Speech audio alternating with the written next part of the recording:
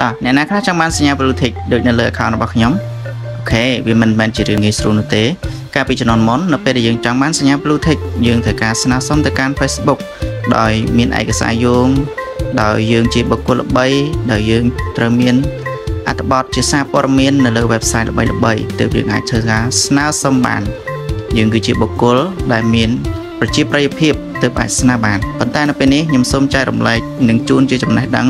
បន្ថែមសម្រាប់បងប្អូនដែលកំពុងតែចង់បានសញ្ញា blue tick នៅលើ account របស់លោកអ្នកយើងមិនចាំបាច់ស្នើដោយលោកមុនទេបច្ចុប្បន្ននេះគឺ Facebook Meta Verify អនុញ្ញាតឲ្យបងប្អូនធ្វើការជាវឬក៏ subscribe ដោយបង់លុយជាប្រចាំខែបានហើយសម្រាប់បងប្អូនក៏អាចធ្វើបានដោយគ្រប់គ្រប់គ្នាដែរប៉ុន្តែសម្រាប់បងប្អូនដែលមិនទាន់យល់ដឹងឬក៏អាចធ្វើបាន ខាងខ្ញុំ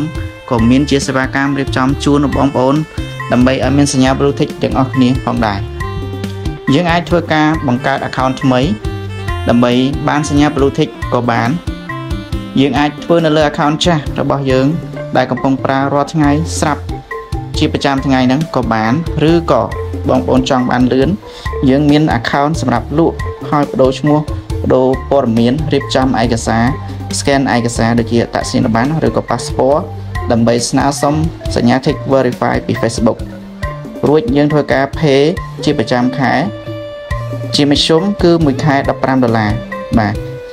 អញ្ចឹងបងប្អូនណាដែលមានចំណាប់អារម្មណ៍គឺអាចធ្វើការទំនាក់ទំនងមកកាន់យើងខ្ញុំបាន តាមរយៈលេខទូរស័ព្ទ097 22